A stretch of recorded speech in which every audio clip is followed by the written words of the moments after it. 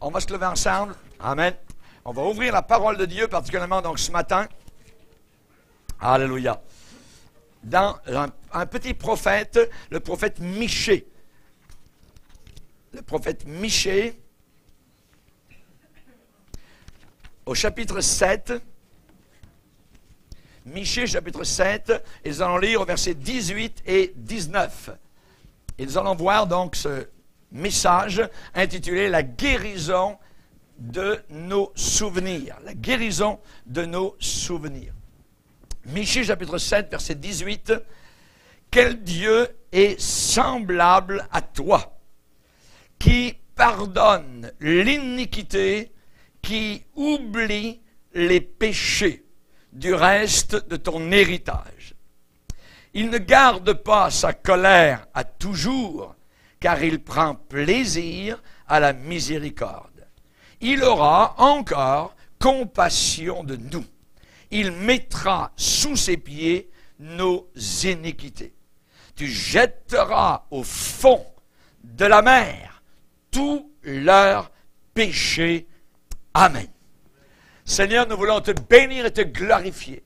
Merci Seigneur Jésus pour la guérison de nos souvenirs. Merci Seigneur pour ce que tu as promis dans ta parole au travers du prophète Michée. Tu es le Dieu vivant, il n'y a personne comme toi Seigneur capable de pardonner nos péchés, capable d'oublier nos péchés, capable de prendre plaisir à une miséricorde éternelle. Merci Seigneur, veuille bénir ce message et qu'il puisse pour nous s'implanter dans nos cœurs et que nous puissions le repousser Seigneur, contre les forces diaboliques, contre les démons de l'enfer qui accusent l'Église, qui accusent les chrétiens. Nous te demandons, Seigneur, que ton Saint-Esprit nous aide à comprendre et à réaliser tes promesses qui sont oui et amen en Jésus-Christ, notre Sauveur. Euh, amen. Et tout le peuple dit Amen. amen. Gloire à Dieu. On va s'asseoir, frères et sœurs. Alléluia. La guérison de nos souvenirs. Alléluia. On se rappelle évidemment, donc, il y a quelques années, euh, le chanteur français, euh, Johnny Holiday, qui chantait Souvenir, souvenir. Voyez, euh, nous, nous avons des souvenirs comme chrétiens. Et évidemment, nous allons parler d'un sujet particulier ce matin par rapport à nos souvenirs. Les souvenirs, nous les avons toujours avec nous. Ils sont là. On se souvient. Ça veut dire on se rappelle. Il y a des choses dont on se souvient très très bien. Certains souvenirs sont bons. Et étant donné qu'ils sont bons, ça nous fait du bien d'y repenser. Voyez euh, Pourquoi? Parce que nous revivons ce passé avec joie. D'autres souvenirs sont mauvais. Il y a des souvenirs qui ne sont pas bons du tout et ça nous dérange ça nous dérange totalement de repenser à certaines choses qui nous sont arrivées ou que nous avons fait. Et il y a certains souvenirs qui sont toujours avec nous qui sont neutres, dans le sens que ce n'est ça nous fait ni chaud ni froid, hein, ce n'est euh, ni mauvais ni bon, voyez, et nous n'avons absolument aucune émotion par rapport à ces, ce genre de souvenirs on sait que en enfer, le Seigneur a dit à l'homme riche, souviens-toi. Souviens-toi. Ce qui veut dire que la pire chose qui existe en enfer et pour l'éternité, c'est que les gens pourront se souvenir. Et je pense que c'est peut-être ce que Jésus a voulu dire en disant, c'est le lieu où le ver ne meurt pas le lieu où le verre ne meurt pas, où les souvenirs vont rester, des gens qui ont entendu la parole de Dieu, des gens qui euh, ont été, euh, je dirais, sous l'action de l'Esprit, ont résisté à l'Esprit de Dieu, à la conviction que l'Esprit leur avait sur eux pour les amener à la croix du calvaire, et ces gens-là, damnés pour l'éternité, vont se rappeler quelque chose d'inimaginable. Le Seigneur, Aria, nous a donné cette, euh, euh, histoire qui n'est pas une parabole, mais une, une, réalité de cet homme riche à qui il a été dit en enfer, souviens-toi que sur la terre, sur la terre. Ce qui veut dire qu'il pouvait se souvenir de sa vie terrestre. Sa vie terrestre, qui vivait dans le luxe, il vivait dans l'insouciance de l'éternité, dans l'insouciance totale de Dieu et des jugements à venir, et là il s'est retrouvé en enfer. Souviens-toi, souviens-toi que tu as eu tes biens pendant ta propre vie sur terre et que Lazare, qu'il connaissait très bien, lui, pendant ce temps-là, était dans la félicité éternelle. Mais pour nous, comme chrétiens, notre marche chrétienne, depuis que nous avons accepté le Seigneur, j'aimerais dire que ce n'est pas du tout la volonté de Dieu que euh, son enfant soit tourmenté par des souvenirs du passé. Ce n'est pas la volonté de Dieu que nous soyons encore en train de se dire, ah ben peut-être si, j'ai fait ci avant d'être sauvé, et là, ce n'est pas du tout la volonté du Seigneur, donc, que nous soyons tourmentés d'aucune façon et manière par les souvenirs du passé. Le diable aime faire remonter le fumier. Il aime faire remonter la boue à la surface. Voyez? Mais le Seigneur me dit qu'il a jeté cela au fond de la mer. Et le diable descend au fond de la mer et il bouge tout ça, la vase, pour faire remonter cela à la surface. Voyez nous devons nous appuyer sur ce que Dieu déclare. Quel Dieu est semblable à toi, qui pardonne l'iniquité et qui oublie le péché? Qui oublie le péché? Il dit, il prend plaisir à la miséricorde et il mettra sous ses pieds nos iniquités. Il jettera au fond de la mer, au fond de la mer, euh, tous leurs péchés. Merci Seigneur. Nous allons parler de cela ce matin. C'est très important parce qu'il y a des chrétiens qui n'ont pas la victoire dans leur vie chrétienne parce qu'ils sont toujours tourmentés en se disant mais peut-être que Dieu m'en veut, qu'il m'a pas, m'a pardonné, oui, mais euh, euh, ils ont toujours un certain remords ou une appréhension par rapport à leur vie passée. Et ça, il faut bien le savoir, ce qui est aujourd'hui, donc, dans, l'Église chrétienne, avec euh, les faux prophètes appelés les psychologues, ils sont en train de ramener la fange du passé. Voyez, même avant que le chrétien ait été sauvé. Et cela est interdit dans la parole de Dieu, puisque la Bible dit, si quelqu'un est en Christ, il est une nouvelle création. Les choses anciennes sont passées, enfouies, englouties, oubliées de la part du Seigneur. Et voici que maintenant toutes choses sont devenues nouvelles. Sont devenues nouvelles. Amen. Aucune expérience d'avant votre venue à la croix, d'avant votre venue au calvaire, ne devrait avoir le droit d'élever sa tête sale pour harceler votre conscience, pour harceler, pour attaquer la conscience du croyant. La confession du péché amène le pardon. Une confession authentique, voyez, du péché amène, entraîne, enclenche automatiquement le pardon. Si tu confesses de ta bouche hein, le Seigneur Jésus-Christ, et si tu crois dans ton cœur que Dieu l'a ressuscité des morts, tu seras sauvé. Tu seras sauvé.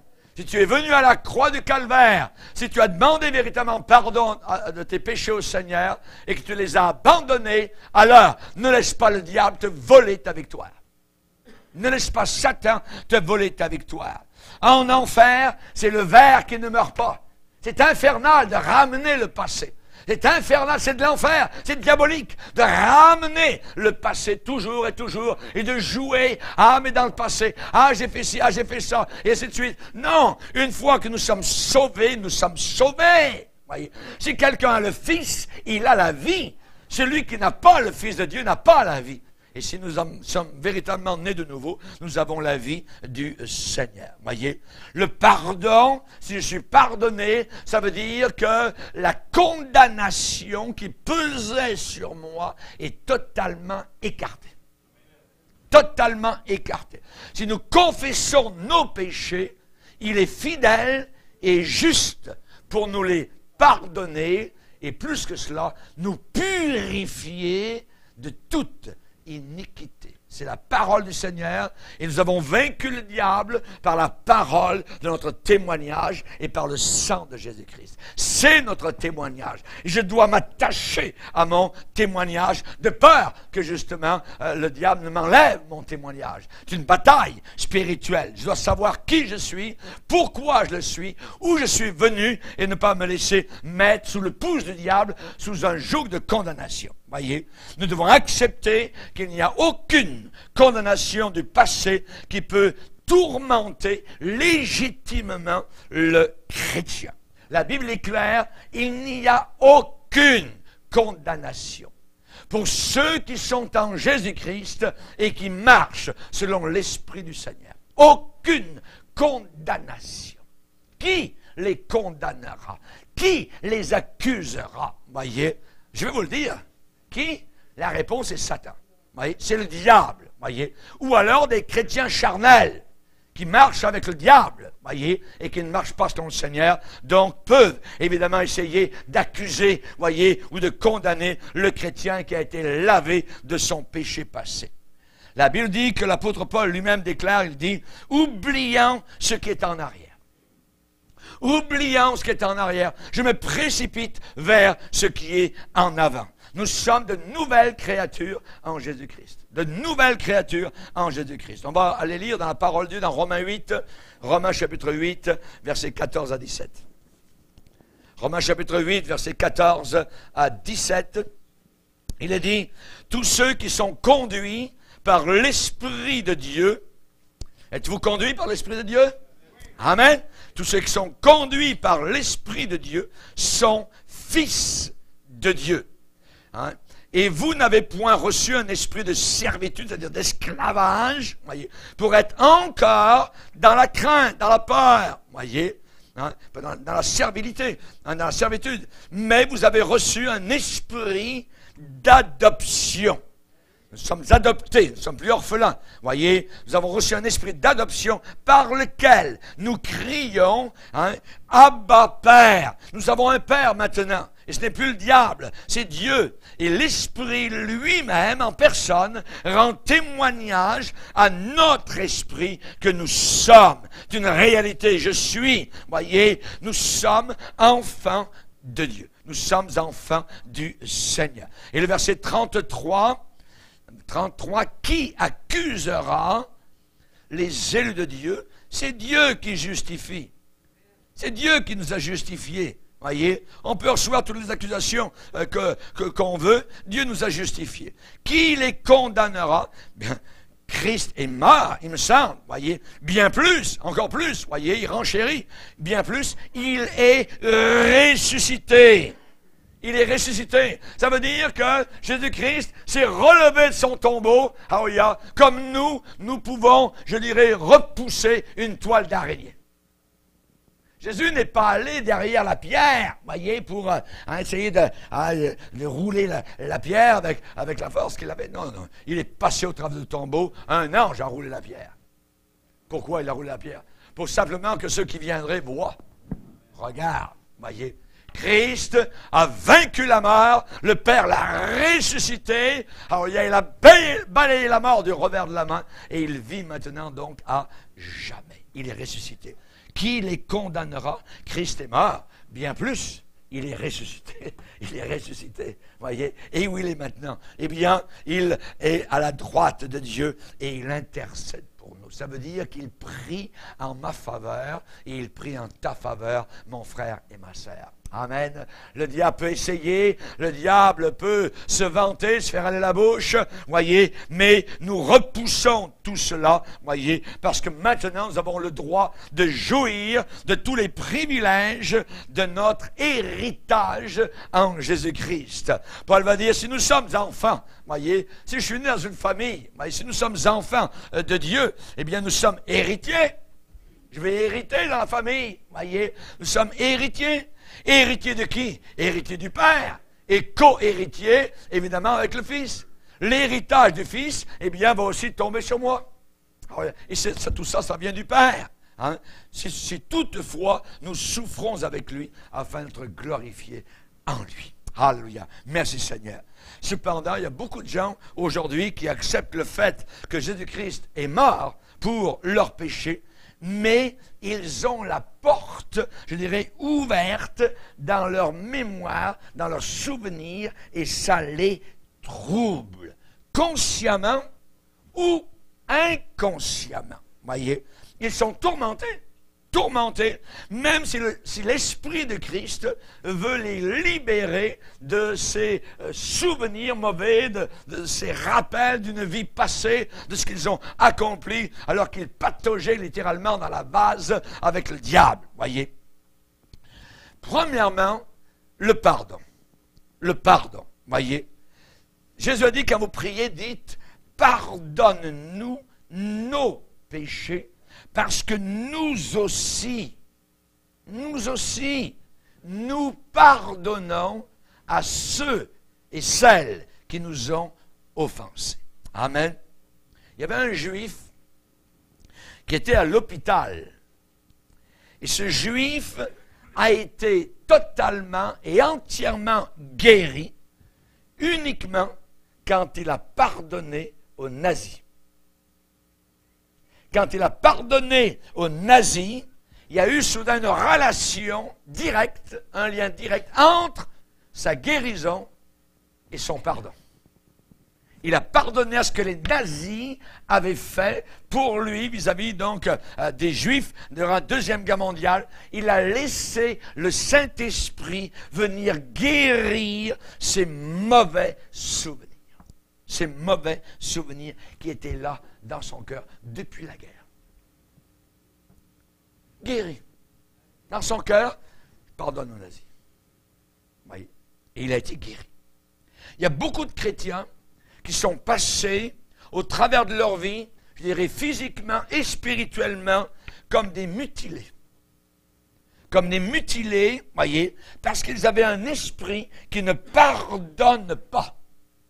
Un esprit qui ne pardonne pas, voyez, et c'est sur ce point que le croyant, le, chrétien véritable, doit prendre l'initiative pour chercher la guérison de ses souvenirs. Il faut que nos souvenirs, qu'on soit guéris totalement de nos euh, souvenirs. Jésus nous a déjà pardonné. Il nous a pardonné. On est pardonné.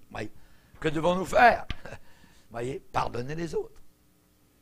Nous devons pardonner aux autres. Voyez, si nous voulons connaître la félicité soulageante, le bonheur, je dirais, d'être euh, au repos et d'être soulagé.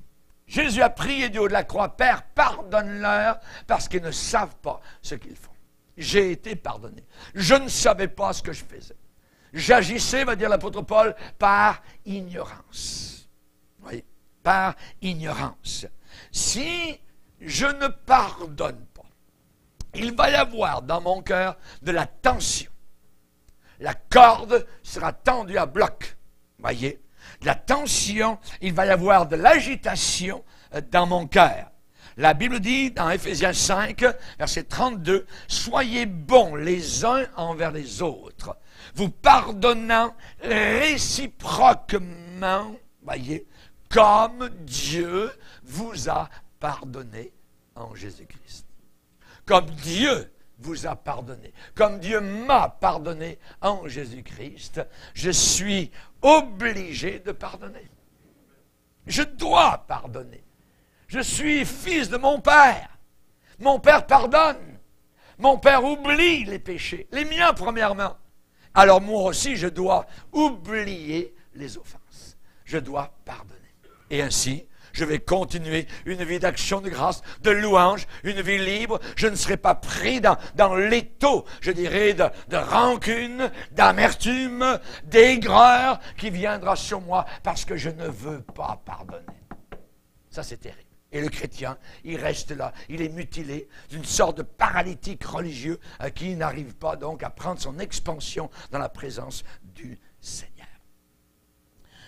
Chers amis, l'anxiété, beaucoup de chrétiens sont anxieux, euh, redoutent ceci, cela, parce qu'ils n'ont pas cette relation, je dirais, propre hein, et directe avec le Seigneur, parce qu'ils gardent des bobos, ils gardent euh, ce qu'on appelle en langage commun des crottes sur le cœur.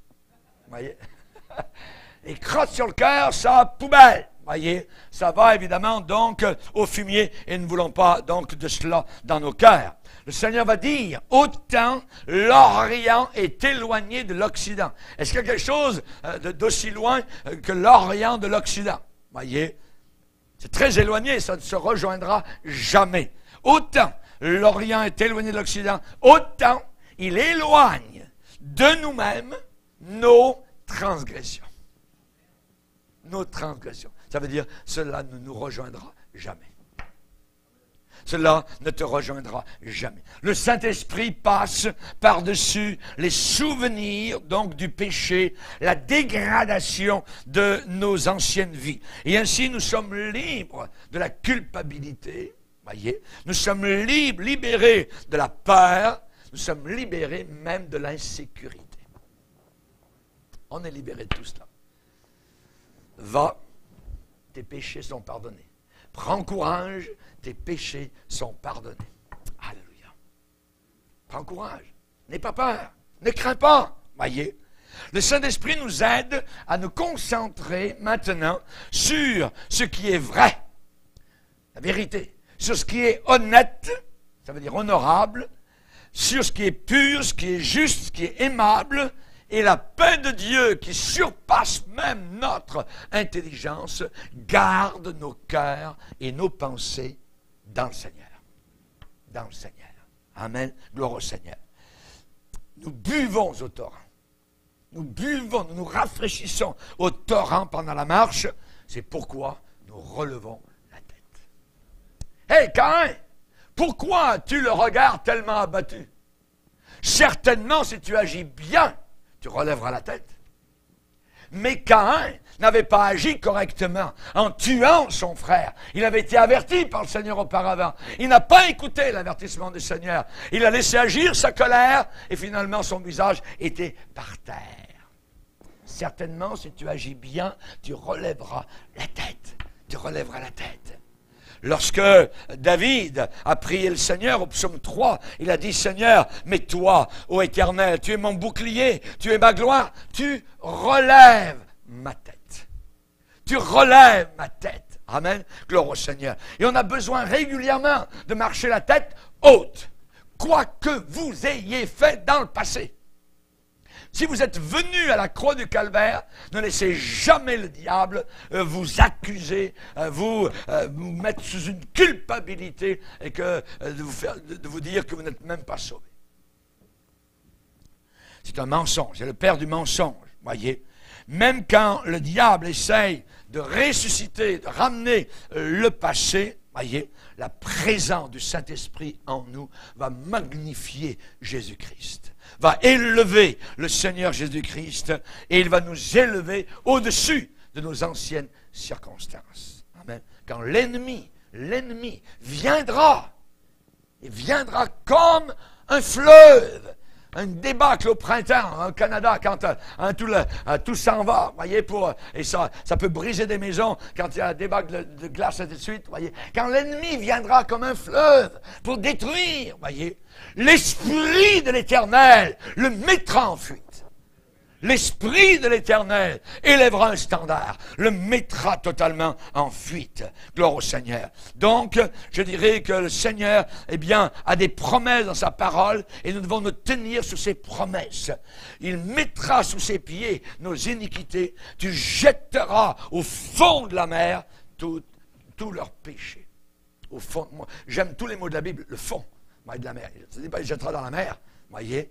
Euh, mes péchés peuvent flotter, voyez mais euh, au fond, Amen, au fond de la mer, gloire au Seigneur, tous leurs péchés. Gloire au Seigneur. Merci Seigneur. La paix de Dieu, la paix de Dieu gardera, gardera nos cœurs et nos pensées dans le Seigneur. Et dans les jours actuels, très noirs, très obscurs, où une chape noire est en train d'être étendue sur la planète Terre, nous avons besoin de nous rappeler cela. Parce que le diable et les démons vont arriver contre l'Église. Hein, et nous sommes une forteresse invincible. Les portes de l'enfer ne peuvent pas. Mais le, diable essaye, voyez, justement, en accusant, en essayant, en, affaiblissant notre communion avec le Seigneur Jésus-Christ, en craignant quasiment que Dieu nous envoie encore des coups bâton. Il essaye justement de nous euh, accuser. N'embarquez jamais dans ce système de, culpabilité. Voyez, Michée chapitre 7 nous dit, quel Dieu est semblable à toi, qui pardonne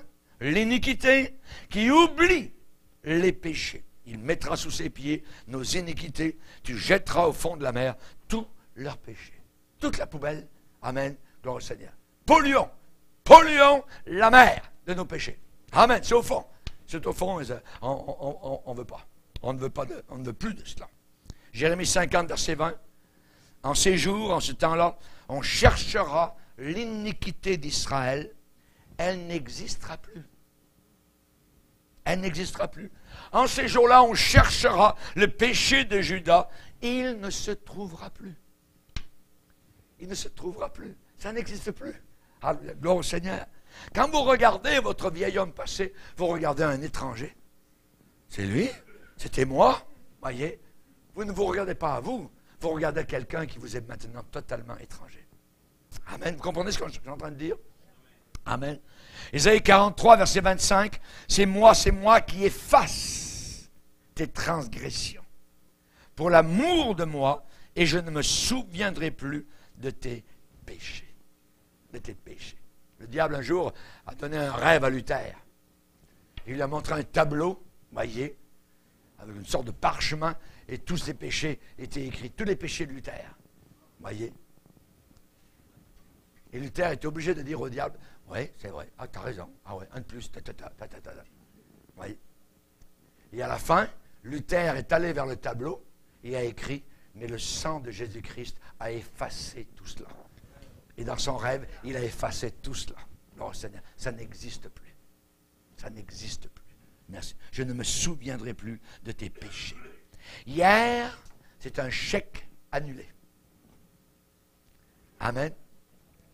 Heureux celui que tu choisis et que tu admets en ta présence.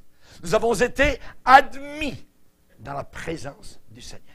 Heureux nous sommes, bénis, blessed la deuxième chose, la paix. Quelque chose de très important aujourd'hui. La paix. Je vous laisse ma paix. Je vous donne ma paix. Non pas comme le monde donne, voyez, mais je vous laisse une paix qui surpasse votre intelligence. Dans la première épître de Jean, ça va encore plus loin que ça. Disons, OK, merci Seigneur, c'est une belle promesse, tu nous accordes ta paix. Mais Jean va plus loin. Et il dit, si notre cœur nous condamne, Dieu est plus grand que notre cœur et il connaît toutes choses. Dieu est plus grand que notre cœur. Même si le diable nous condamne, voyez, on, le repousse. Mais parfois notre cœur même nous condamne. Et bien la Bible dit, hein, même si notre cœur nous condamne, Dieu est plus grand que notre cœur. Il connaît toutes choses. Si humblement je viens vers le Seigneur pour demander pardon de tout péché connu, même après mon salut, il sera pardonné. Il sera pardonné. Amen. À moins que ce ne soit le péché contre le Saint-Esprit qui est le seul qui ne sera pas pardonné. Mais le moment où vous entendez la parole de Dieu, votre cœur est ouvert à la parole de Dieu, vous n'avez jamais commis ce péché-là. Jamais. Le diable travaille aussi dans ce sens-là. Oh, tu as commis le, péché contre cet esprit, tu ne peux, pas revenir à Dieu, tu as, trop fait de choses. Mais si la personne est là, assise à écouter la parole de Dieu, quelqu'un qui a commis le péché contre un esprit n'est même pas jamais assis à écouter la parole de Dieu. Il ne peut même pas. Il veut même pas. Voyez. Mais vous êtes là. Vous n'avez pas commis. Vous m'entendez? Amen. Gloire Seigneur. Il y a de l'espérance.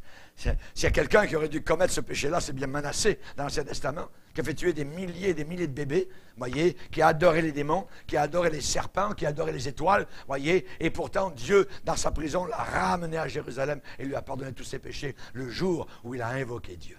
en lui demandant pardon. Il en a fait. Voyez, c'est le fils prodigue de l'Ancien Testament. Amen. Merci Seigneur. Que Dieu soit glorifié. Amen. Gloire au Seigneur. Quand on permet au Saint-Esprit de guérir nos souvenirs, non seulement il efface, voyez, euh, le, mauvais, mais Dieu fait plus que cela. Il crée le bon. Il crée ce qui est bon en nous. À celui qui est ferme dans ses sentiments, tu assures, voyez, ici on a un vendeur d'assurance, voyez, donc euh, il sait très bien ce que c'est les assurances. mais les assurances de Dieu, voyez, sont encore plus fortes. Amen. Tu assures. Non, on deux. Je vais demander deux assureurs ce matin. Amen. Tu assures. Amen. Qu'est-ce qu'il nous assure? Tu assures la paix? il répète, la paix, parce qu'il se confie en toi. À celui qui est ferme dans ses sentiments. Et le diable peut jouer sur nos sentiments, les feelings. On vit dans un monde de feelings aujourd'hui. Nous ne vont pas jouer sur nos feelings. Voyez, il faut rester sur la parole de Dieu et nos sentiments seront fermes. Sentiments resteront fermes. À celui qui est ferme dans ses sentiments, dans ses feelings, tu assures la paix, la paix, parce qu'elle se confie en toi. Voyez, il y a des souvenirs, des mémoires qui ont été guéris, voyez, et c'est uniquement et seulement la bonté de Dieu. Uniquement la bonté du Seigneur, voyez.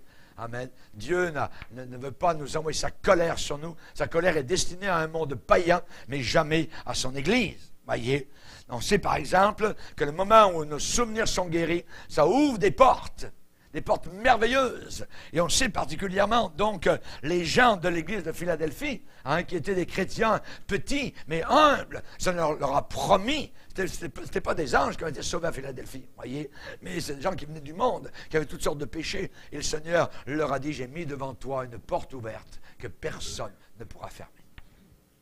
Que personne ne pourra fermer. Gloire au Seigneur. C'est une promesse de porte ouverte. Non pas de rejet.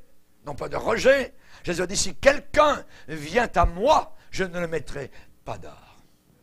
Il ne mettra jamais dehors quiconque vient à lui humblement. Voyez, il y a des euh, souvenirs, des mémoires guéries, et évidemment, ça apporte la paix. Dans des milieux, parfois dans des milieux de tension, des milieux de stress, on peut vivre dans un monde euh, qui est vraiment un pays ennemi mais cependant on aura encore la paix du Seigneur. Ne vous inquiétez de rien. Ne vous inquiétez de rien. Et Paul, quand il a écrit ça, il était dans une prison avec des rats, avec l'humidité. Hein, il, avait euh, euh, juste un, petit vêtement, il, avait froid, il tremblait. Hein, il a écrit même euh, à Timothée en disant Hey Timothée, quand tu viendras à Rome, oublie pas d'amener le, manteau, le manteau que j'ai laissé à Troas, chez Carpus. Voyez Amène ça quand tu viendras à Rome. J'ai besoin d'un manteau, j'ai froid. Hein? Et quand il écrivait là dans sa prison, il a écrit aux chrétiens en disant Eh bien, ne vous inquiétez de rien. Réjouissez-vous dans le Seigneur, je le répète, réjouissez-vous. Ne vous inquiétez de rien. Mais en toute chose, en toute chose, faites connaître à Dieu, voyez, vos besoins par des prières, par des supplications. Et le résultat, c'est que la paix de Dieu viendra et gardera vos cœurs et vos pensées dans le Seigneur. Alléluia. Merci Seigneur. Que Dieu soit béni. Vous savez, la Bible dit dans un psaume, l'Éternel est un refuge pour l'opprimé. Un refuge pour l'opprimé. L'Éternel est un refuge au temps de la détresse. Ce mot détresse, en hébreu, ça veut dire au temps du, lieu étroit. Le moment où c'est resserré, voyez, où le budget est resserré, où la santé est limitée, où il y a toutes sortes de contraintes, dans ces moments, je dirais, d'étroitesse, où c'est dur, l'éternel est un refuge, un refuge. Amen. Alléluia. J'aimerais vous dire, dans la guérison de nos souvenirs, le Saint-Esprit est capable de nous faire souvenir ce dont nous avons besoin. je vous donne un exemple ce matin. Il y avait euh, un besoin d'information, particulièrement, dans un temps particulier. C'était, euh, le monsieur s'appelait Raymond T. Brock, voyez, du département des sciences à Evangel College à Springfield, Missouri. Et ce, jeune homme-là était à l'université pendant un examen.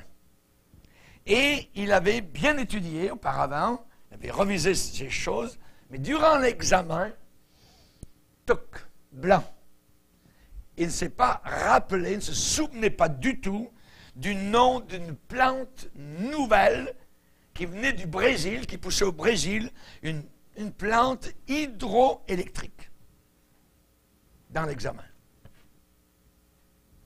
Ferme les yeux, se tourne vers le Seigneur. Seigneur, tu sais que j'ai étudié, je ne me rappelle pas du tout du nom de cette plante-là.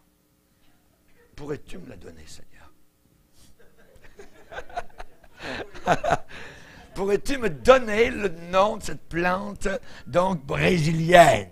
Il l'a demandé au Seigneur. Il y a deux mots qui sont venus. Toc, toc. Volta redunda. Volta redunda. Il a écrit ça sur, sa feuille, maillée.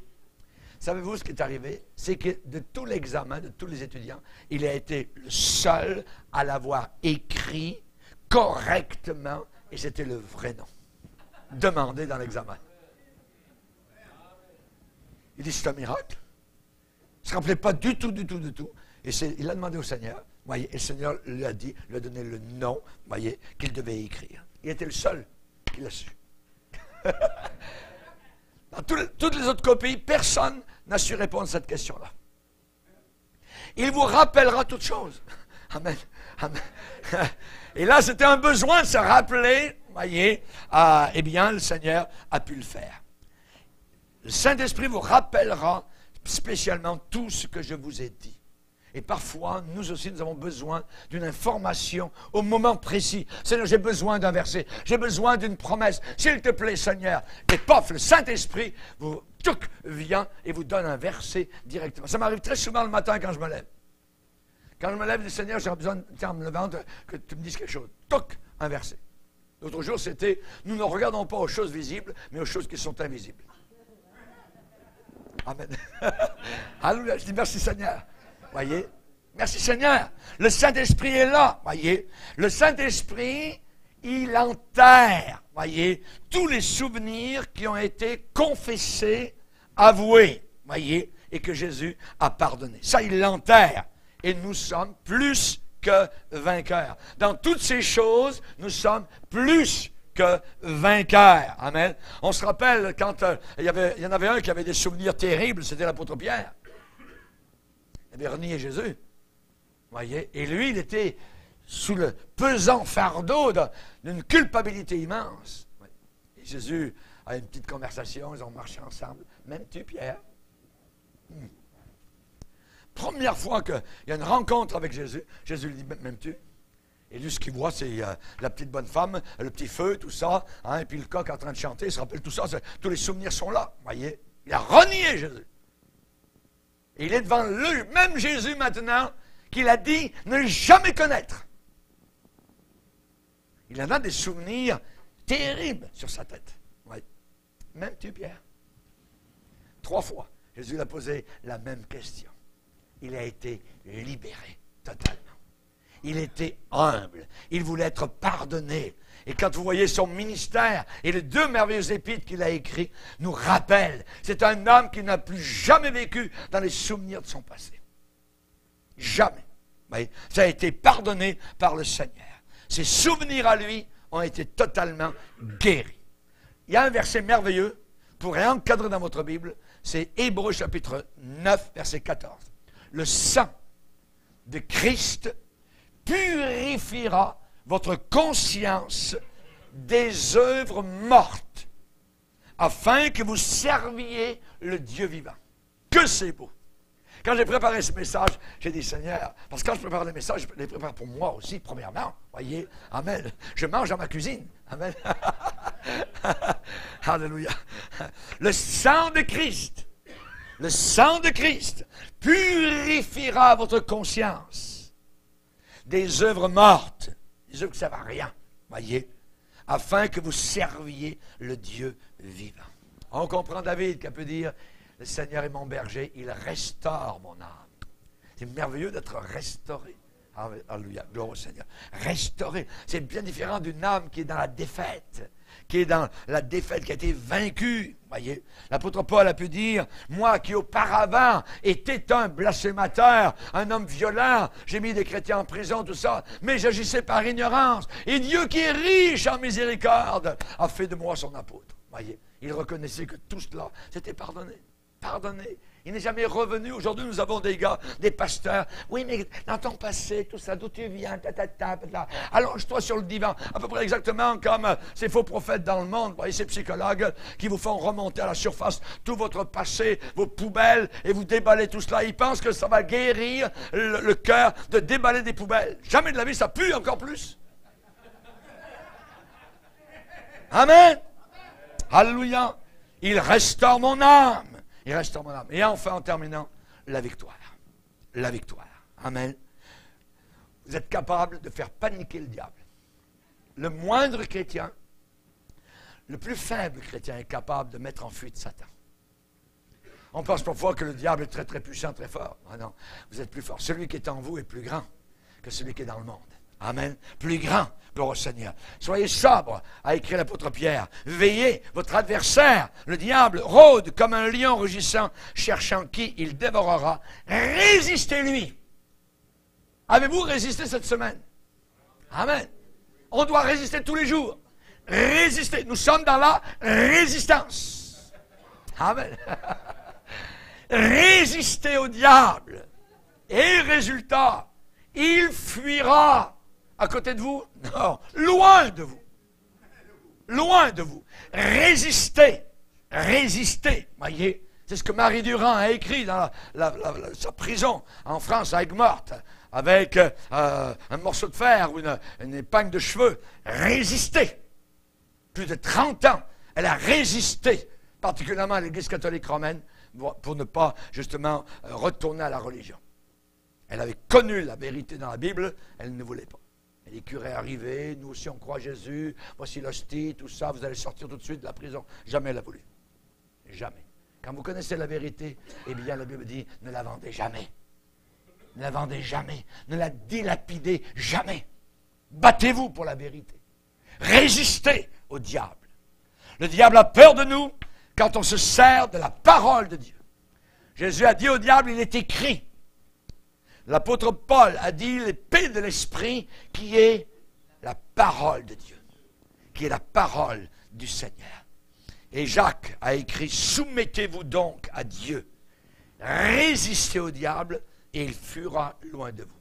Un, soumettez-vous à Dieu. Vous ne pourrez jamais résister au diable si vous ne vous soumettez pas à Dieu. C'est dans l'ordre des choses. Premièrement, soumettez-vous à Dieu. Deuxièmement, vous serez capable de résister au diable. Troisièmement, il fuira loin de vous. Ça, c'est dans l'ordre. Le diable ne s'enfuit jamais si nous ne sommes pas soumis à Dieu.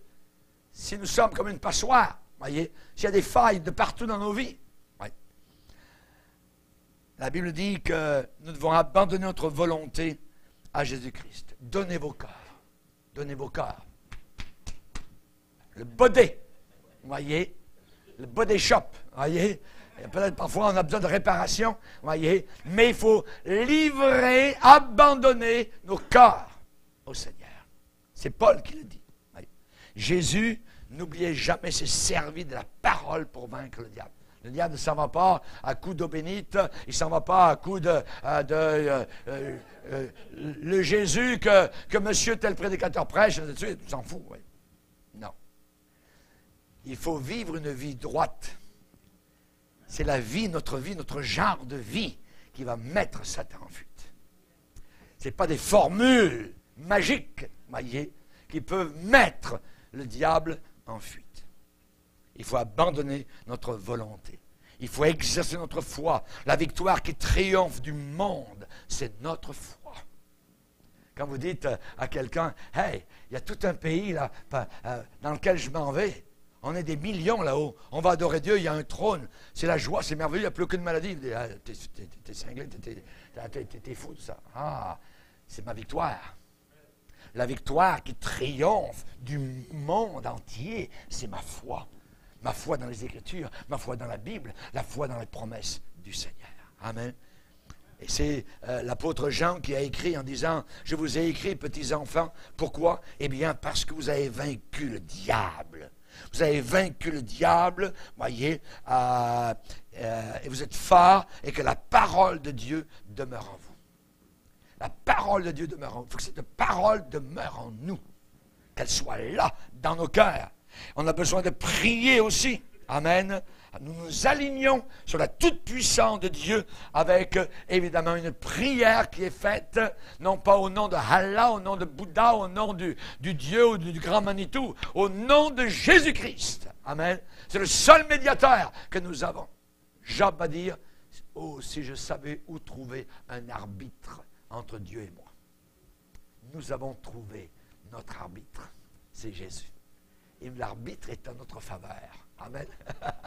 Alléluia. Gloire à Dieu. Merci Seigneur. La prière et le sang de Jésus-Christ. N'oubliez jamais la croix. N'oubliez jamais la croix. Quand vous êtes en train de trembler, en train d'être tenté euh, par le diable, allez vite vers la croix du calvaire. Allez vers le Seigneur. Merci pour ton sang. Merci pour la victoire que tu as gagnée en ma faveur à la croix du calvaire. Merci Seigneur pour mes péchés qui ont tous été pardonnés. Je vais vaincre cet ennemi par la puissance du Saint-Esprit. Ils l'ont vaincu. Amen. C'est un fait accompli. Ils l'ont vaincu par le sang de Jésus-Christ et par la parole de leur témoignage. Le Seigneur a promis un diadème au lieu de la cendre. Amen. Quelle différence. Amen. D'une huile de joie au lieu du deuil. Un vêtement de louange au lieu d'un esprit abattu. Amen. Baissons nos têtes et prions le Seigneur. Seigneur, nous voulons te bénir. Tu as changé nos vêtements, Seigneur. Comme le fils prodigue a entendu le père dire au serviteur, Oh, allez vite chercher la plus belle robe nous te bénissons, Seigneur. Tu as enlevé nos cendres. Tu as enlevé notre deuil. Tu as enlevé notre esprit abattu. Et tu nous as revêtus de diadèmes, d'huile de joie, de vêtements de louange. Nous te bénissons et te remercions, car tu as écrasé la tête du serpent, tel que prédit dans Genèse chapitre 3. Merci, Seigneur. Alléluia. Nous te bénissons pour cet ennemi vaincu, Seigneur Jésus. Et nous voulons vivre sans aucune crainte de Satan. Nous voulons nous soumettre à toi et nous voulons, Seigneur, voir le diable s'enfuir. Aujourd'hui, c'est le jour encore de victoire, le jour de guérison, jour de délivrance. Merci, Seigneur, pour la vie abondante que tu nous as accordée, car tu as promis en disant, je suis avec vous tous les jours jusqu'à la fin du monde. Merci Seigneur. Amen. Et tout le peuple dit,